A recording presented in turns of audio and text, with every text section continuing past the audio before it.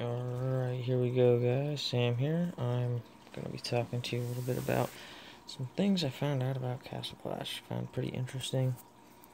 Uh, I've seen these people and they talk about how you can go here and go to the Hyrule Shards and go to Legend and tap the PK, PK or if you come over here and tap a Mortep or whatever.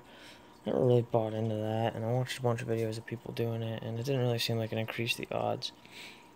Um, with that being said, I did notice one thing that seems to really increase the odds. Uh, I noticed that on Battlefield reward days, I tend to get more legendary heroes rolled, and that happens a lot before I even would stack up my gems.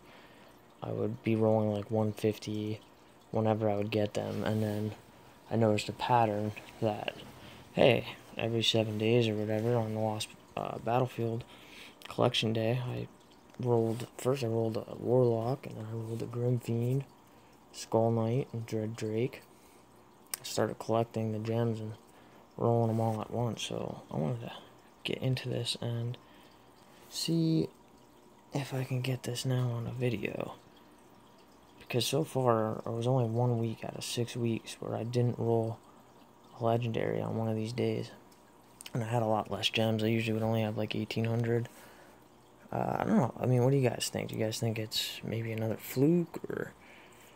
I don't know. I want to hear what you guys have to think about it in the comments below. Just comment, like, save it up and try it out. See if you guys notice a difference. Maybe it was just, uh, you know, maybe it was just a fluke where I just got lucky on that day. I don't know. Let's see, though see what we got. Crystal Ooze. Eh. Snowzilla. Look at that. Right off the bat, got something. Not what I want, but something. Alright, another 450. Nothing. Ah, uh, let's see. What would I want right now? I don't know. I think a uh, Skull Knight would be... One more Skull Knight would be cool. Maybe two Skull Knights, yeah, because then I can Devo him. That would probably be the best. Or two more train tars would be cool. Devo tars are awesome. Let's see. Alright, let's go roll some more. Executioner. Ugh. Ah, ninja. Come on. One more. That's it. Now, this is the first time I think. I mean, I got two legendaries and 3,000 gems. That's pretty. It's pretty good. Uh, I think like the chance of legendaries is supposed to be like one to two percent.